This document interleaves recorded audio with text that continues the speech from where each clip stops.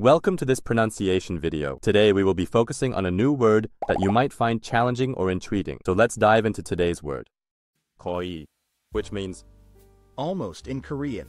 Let's say it all together. geoui. geoui. geoui. One more time. geoui. geoui. geoui. Thank you for joining us on this adventure in pronunciation. Remember, language is a journey, not a destination. Keep exploring, experimenting, and expanding your linguistic horizons. We'll see you next time.